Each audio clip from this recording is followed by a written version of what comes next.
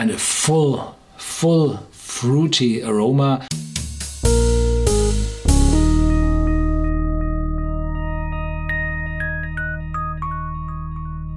Welcome to whisky.com, where fine spirits meet. My name is Lüning, Horst Lüning. I'm the master taster of whisky.com. And today we have a first of a new kind of Kentucky straight bourbons.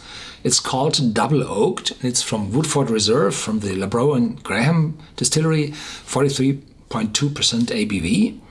And if you read the Bourbon Act carefully, then you notice that a Kentucky straight bourbon is only allowed to mature in a fresh American white oak cask.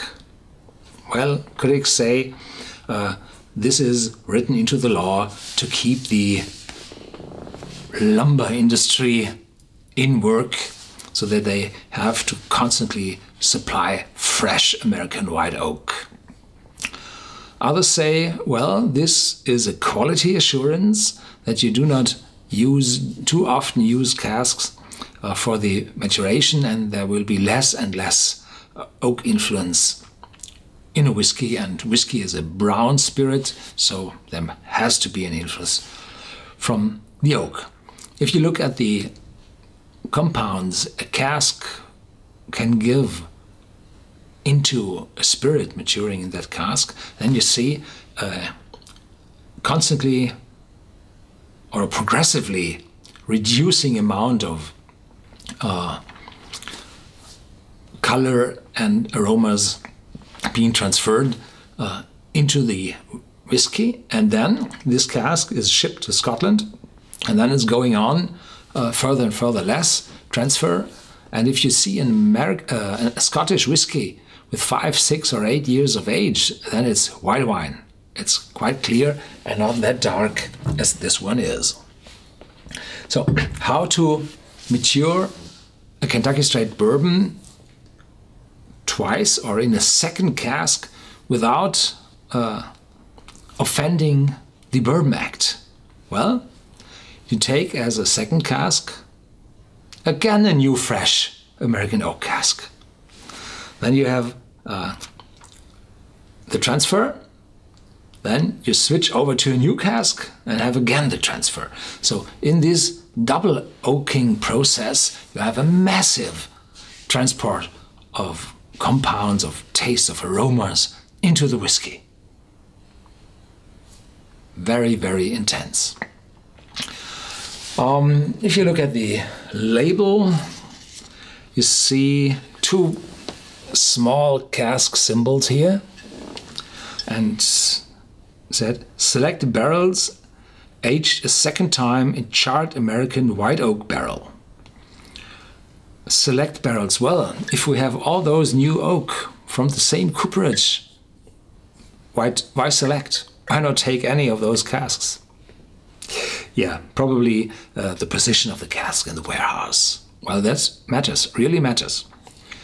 Um, in charred American white oak barrels, a cask is processed that is first toasted, so heated up to 150 degrees centigrade, and then it's cooking, and uh, this celluloses is converted into wood sugars, and those wood sugars are caramelized, and this caramelized wood sugar brings the brown color, and there are tastes of caramel and whatever uh, you can imagine produced during this toasting process. And there is a, a boundary layer between the uh, processed and the unprocessed wood in the staves, in the wall of the casks. And this layer moves out the longer you toast. And typically you stop in the middle uh, of the stave. Um, and then you you flame the cask from the inside and there you this results in a charcoal layer on the inside of the cask and uh, this charcoal layer is divided into at least four grades light uh, medium strong and very strong and there are those alligator charred casks where uh, the charcoal layer is very thick and uh, it breaks into small pieces looking like the skin of an alligator So, and here we have, uh, and, and this charcoal layer does two things. The first is it filters. Charcoal is an active filter. It filters sharp substances out of the whiskey, the raw whiskey. And then you have uh, the charcoal layer, well, close to the red layer between the unprocessed and processed wood. And in this, oh, the, the boundary between the charcoal and the processed wood for toasting, during toasting. And in this boundary between the charcoal and the uh, and the caramelized wood sugars, there a lot of compounds uh, are created during the flaming process. This gives a lot of aroma. Uh, I learned that last year, and before I thought it was only uh, the filtering of the charcoal, but no, uh, the intermediate uh, region between the charcoal and the processed wood, a lot of things happen there. Quite magic. Um, this exceptional bourbon has been crafted in a unique double barrel process. First matured in a custom crafted barrel and then re-barreled, so filled into another barrel in a heavily toasted, heated up to 150 centigrade, lightly charred barrel. So the second barrel is only lightly charred but heavily processed during toasting. For finishing, it features a wide range of rich, complex oak character. Uh, why only charring a little bit for the second time? Well, most of the substances, the sharper, the faints, uh, Woodford Reserve is produced on pot stills, not the typical column stills of American bourbon distillers. No, distilleries. No, they, these are produced in Scottish or imported uh, pot stills from Scotland, from Forsyth in Rothes. And uh, there with the first charcoal layer in the first cask, those faints are gone already. And if you refill or rebarrel in the next cask, then you do not have to filter this. But you need the boundary and you need uh, the caramelized wood sugars for giving more aroma into the whiskey. So this is a, a very new, very creative whiskey, which uh, still applies to the Bourbon Act even using two casks. A very, very dark brown color. And a full, full fruity aroma, not these uh, light citrus aromas. No, this is heavily oxidized, dark berry caramelized fruits, dried fruits, dried plums, resins, sultanins, whatever the difference between those, no, I have no idea. And then there's caramel and heavy, heavy oak, which spreads the gap to marzipan. So very aromatic intense aroma. Officially, it said there's chocolate and honey in it, but I'm not able to taste those both already. Full complex, very lot of oak.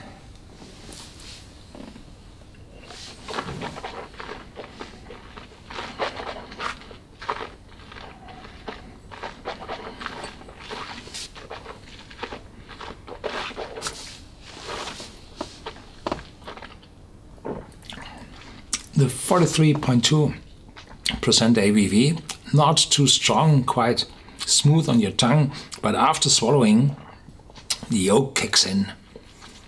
Strong, spicy. No sharpness at all. No chocolate. Chocolate typically has a, a kind of bitterness delivered from the oak cask. No, the period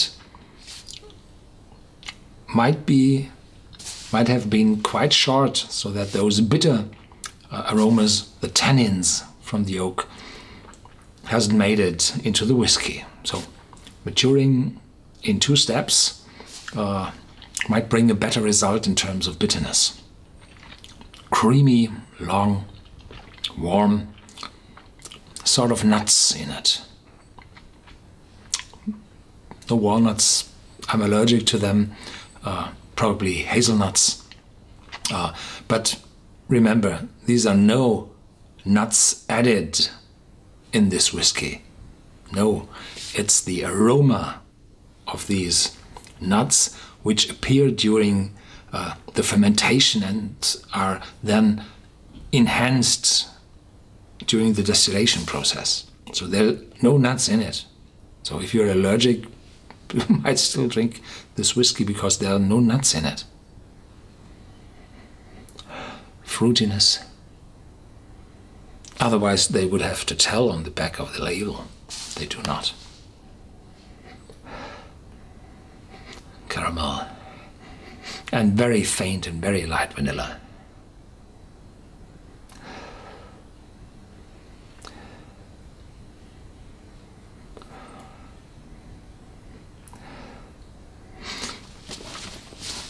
Thinking about what I've said about nuts, are you allergic about nuts and are you drinking whiskey? Have you ever felt an allergic reaction to those aromas of nuts? Probably those aromas are the same. Produced by yeast during the fermentation process, are the same uh, compounds as they are in the nuts. Can't believe that because it's it's mostly proteins in the nuts. And where shall those proteins come from? And during the distillation process, everything is hot. So the proteins are denatured and should not act on on your body. Yeah, a wonderful piece of whiskey. And what to do with the finishing casks. You can't use them a second time for finishing as the Scots do, because the Bourbon Act says you have to use fresh cask. So those used casks, the finishing as well as the first, have either to go uh, to Scotland for a second run there, or they may be used in the uh, American whiskey, blended whiskey industry. And in the company to which Woodford Reserve belong, uh, Brown Forman, and they own also Jack Daniels and Early Times. Uh, there's the early times. The early times switched to uh, Kentucky to a straight bourbon roughly around 2003 or 5, something around that. Um, but there's an awful lot of uh, whiskey produced in the early times distillery, so a lot of those might go also into the blended American blended whiskey industry. And there you can use those used casks a second time.